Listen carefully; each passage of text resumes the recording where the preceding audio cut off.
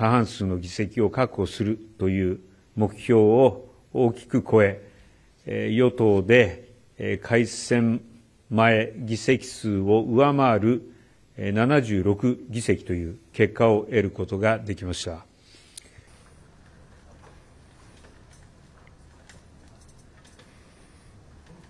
世界から愛された偉大なリーダーの命を奪ったこと、悔しくてなりません。しかし、一番悔しかったのは、日本を取り巻く環境が大きく変わり、内外の課題が山積する中で、凶弾に倒れた安倍元総理ご自身だったと思います。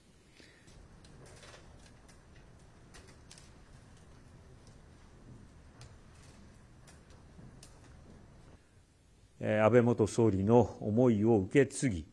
特に情熱を傾けてこられた拉致問題や憲法改正など、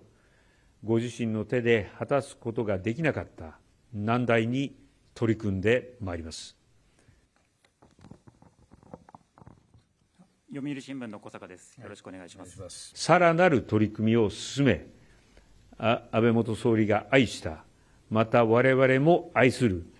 この日本という国をより明るく元気なものとして、次の世代に引き継いでいかなければなりません。